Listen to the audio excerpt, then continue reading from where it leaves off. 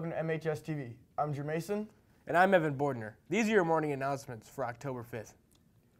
Colleges are now visiting MHS.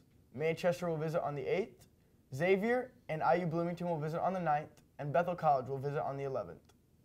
Attention seniors, the ASVAB test is on Wednesday, October 10th. Sophomores and juniors will also be taking the PSAT that same day. Get some rest and be on time. And now, Parker Norris with tonight's weather. Thanks, Drew. Tonight, it will be cloudy with a low of 64 and a 50% chance of rain.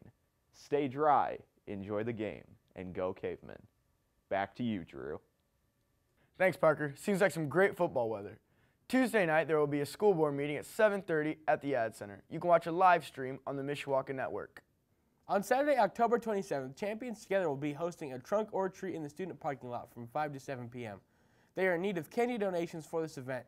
If you have any donations, please take them to either the athletic office or to a Champions Together member. Thank you for your support, Cavemen. Are you interested in swimming or diving for MHS this season? Here's your chance. Miss Smith is hosting a call-out meeting on October 8th in the Commons at 3.15. You're invited to practice from 3.30 to 5 Monday through Friday from now until girls season begins on October 22nd. Just come to the pool ready to swim and join us at preseason workouts.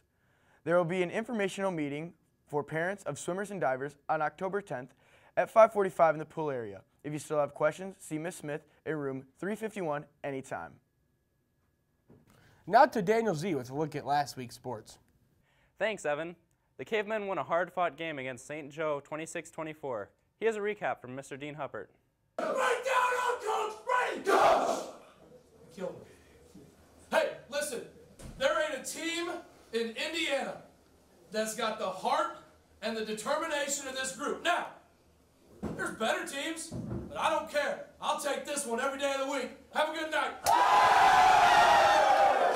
Coach was excited with his team in the steamy locker room because the Cavemen had won another one of those close games fans have gotten used to. An incredible night at Steele Stadium as the homecoming king and queen, Megan Fry and CJ Fisher, were crowned. And Notre Dame football coach Brian Kelly was also in attendance watching his son play for St. Joe. The Indians led 14 to 7 at halftime as Mishawaka's only score was a Chris Harness three-yard touchdown. Well, we made some adjustments at halftime. When it was homecoming, we had a little longer halftime, and we made some adjustments and made some plays. In the second half, Harness scored again. So did Sam Shively, but the boys in maroon still trailed by one, 21 to 20. St. Joe up their lead to four on a Patrick Oliva 37 yard field goal. But here come the cavemen. A huge fourth down play late in the game, halfback pass, that kept the drive alive. Well, we put that plan this week, brand new play, and uh, it was fourth and third. We knew it was going to be open, just had to get a good pass, get a good catch, and we knew it was going to be completed. Uh, this group of guys, man, I'm telling you, there's something about them. We're, we're not we're not near as good as our record indicates right now, but I'll tell you, there, there ain't a team that plays as hard as we do, and there's not a team that that stands tall in big moments, and our, our kids continue to do that. Shively gave the Cavemen the lead by two with just over three minutes to play.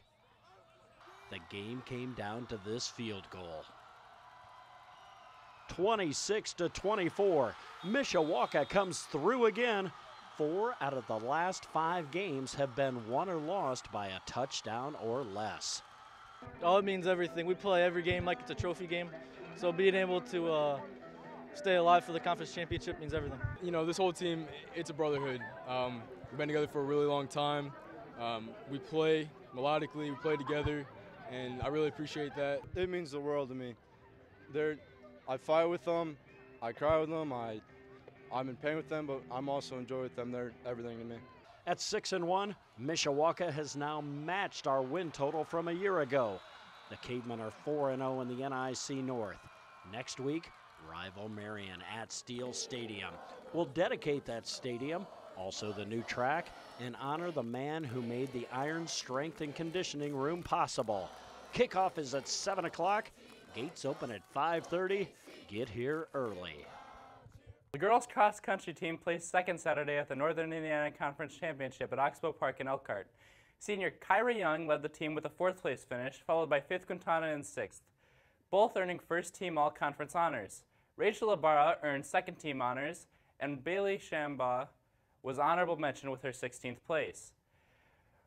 Rachel Williams, Ashley Myers, and Riley Banks completed the conference varsity team. Freshman Grace Serbel was the top finisher in the JV race to earn a sectional roster spot. Casey Quintana led a young boys team in a fifth place at the NIC Championships at Oxbow Park Saturday. Casey was third overall to earn first team NIC honors. Derek Bailey was 17th, Danny Sanchez 24th, Dylan Williams 25th, freshman Ryan Hoopengarner 34th, Ethan Bird 51st, and Levi Hall 53rd. Alex Kincannon was the top JV finisher to earn a sectional roster spot. The boys and girls teams will compete in sectionals Saturday, October 6th at Erskine Golf Course, 1 p.m. The girls varsity volleyball team beat South Bend Clay 3-0, and Mishawaka also had the honor to host the 8th grade championship game of John Young versus Northwood. Here's a recap of that game from Mr. Dean Huppert. Is that understood? Yes, sir! I love all of you guys. I want nothing but the best for you today. And you had that opportunity to go out there and take it not only for me, not only for your coaches, not only for each other, but everybody in those stands tonight that believes you can do it. It comes down to whether or not you believe in yourselves. Do we believe? Yes, sir! Do we believe? Yes, sir! Let's go! The John Young Middle School Jaguars represented Mishawaka with pride Tuesday night.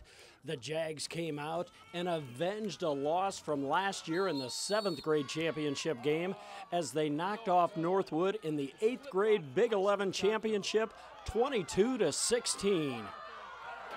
I've been praying about this for eight years, eight long years, and we finally got one. I couldn't have asked for a better group of kids. They did exactly what we asked them to do. And looking at the scoreboard, we came out and got it done, baby. I loved them to death. This, this is my first year playing football. It was fun. It felt great.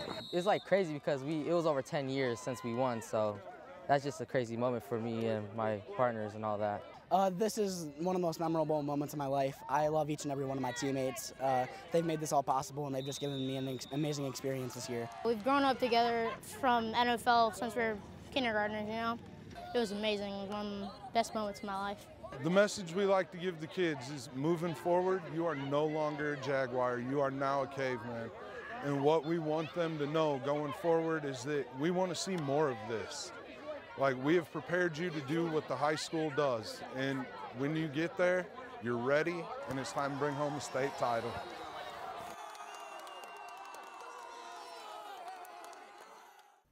Thanks, Dean.